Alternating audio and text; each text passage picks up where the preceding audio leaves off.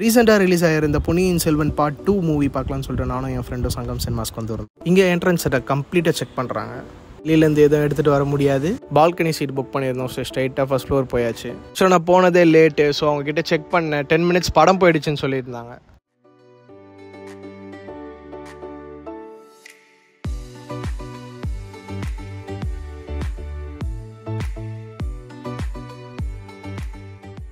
Staff சூப்பராக இருந்தது.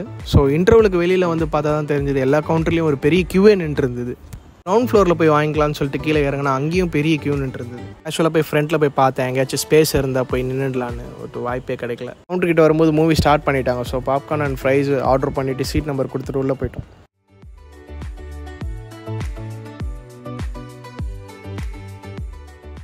Movie உண்மையிலே ரொம்ப நல்லா இருந்துச்சு. கண்டிப்பாக இந்த படத்தை தேட்டரில் வந்து எக்ஸ்பீரியன்ஸ் பண்ணுங்கள் லாஸ்ட்டாக ஒரு பாட்டு ஒன்று போடுறாங்க. அதுவும் நல்லா இருந்தது.